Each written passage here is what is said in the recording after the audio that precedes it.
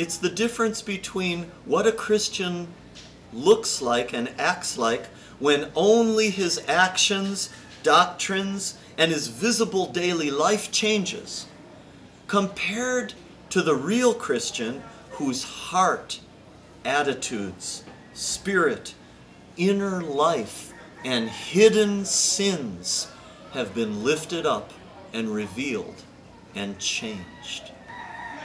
One of the most important things we find that the Haitian church and all the pastors and people here need so desperately is they need a true message of the gospel.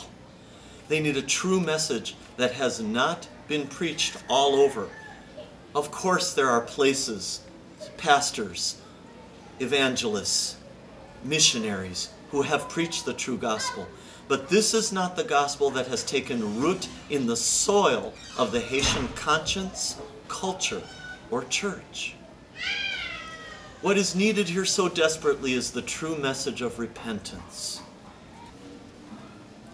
In 1 Peter chapter 4, verse 17, we read these words For it is time for judgment to begin with the household of God. And if it begins with us first, what will be the outcome for those who do not obey the gospel of God?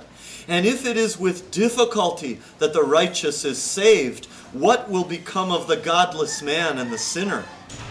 Therefore, those also who suffer according to the will of God shall entrust their souls to a faithful Creator in doing what is right. The message of repentance that needs so desperately to be preached in Haiti, coming from that scripture,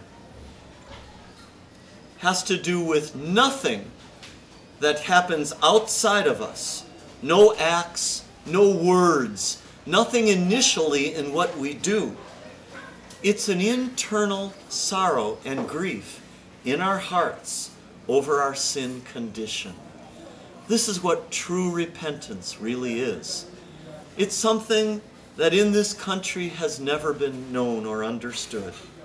True repentance is a confession of our total hopelessness to conquer our sin nature. It's a hunger and a thirst for purity and righteousness, for holiness that we know can only come from God. In Psalm 24, verses 3 to 6, we read these words Who may ascend into the hill of the Lord, and who may stand in his holy place? He who has clean hands and a pure heart, who has not lifted up his soul to falsehood and has not sworn deceitfully. He shall receive a blessing from the Lord and righteousness from the God of his salvation. This is the generation of those who seek him, who seek your face. In Psalm 24, it tells us, He who has clean hands and a pure heart can stand in a holy place before his heavenly Father. So we need to say to this nation, Look at our hands. Look at our hearts. In what condition are we truly before God? Before revival can come to this nation or to any nation, Christians must first repent personally.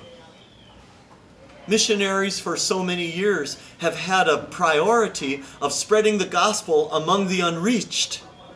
But now, in a nation where there are churches filled with people, there are pastors and seminaries, there are Bible schools and retreat centers and camps of all different kinds.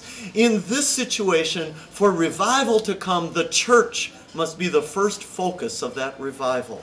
And before the church can know revival, individual Christians, one by one, must repent personally. And then churches must come to that place where entire churches will repent corporately for what they have never been, for how they have never received the true message, for how they have participated in the very sins of the nation that they themselves condemn. Then the church can call the nation to repentance. What if a sin filled dirty church tries to call a nation back to God, what will happen? How could we ever expect for God to come? Christians everywhere in Haiti cry out to God, God, come and deliver Haiti. Come and bring your blessing back to this nation. In most instances, those people's hearts, while they're praying those words, are praying for money to build their houses, to send their children to school, the ability to get a visa to come to the United States.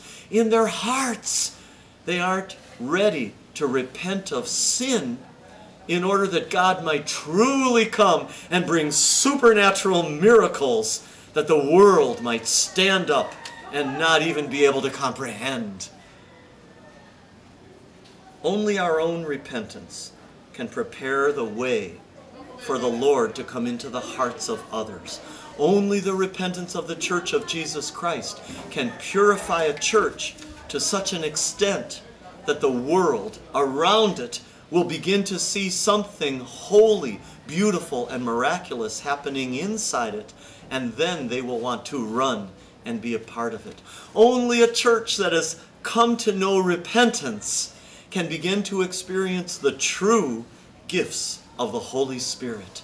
Only a church that has stood before the Lord and fallen before the Lord in true repentance can begin to experience healing, deliverance, great and powerful miracles of knowledge and wisdom and faith and all that God has for those who truly know Him and follow Him.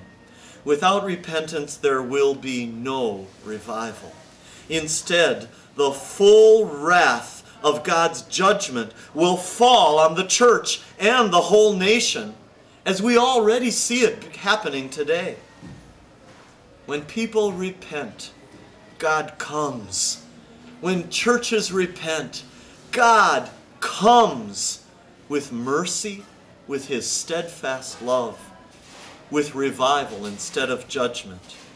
All of us deserve judgment and hell for our sins, but God comes when we repent with mercy. You know what mercy is. We don't get what we deserve. Thank you, Lord. That's mercy. That's what we pray for a nation that has turned its back on God. Oh God, bring mercy here.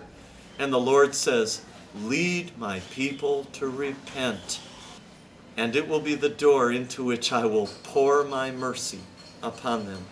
When we stand before God as a group, a church, or a nation to confess our sins, God responds according to Second Chronicles 7 that verse that's becoming so well known in our country now. That verse that tells us when we see our nation falling apart and we want to say, What's going on in our culture? It's the fault of all those people who followed demons. It's the fault of all those unconverted people. It's the fault of our government. When we see our whole social structure decaying, and we start praying against all those people and thinking that they need to accept Jesus Christ. Second Chronicles 7 14 tells us no.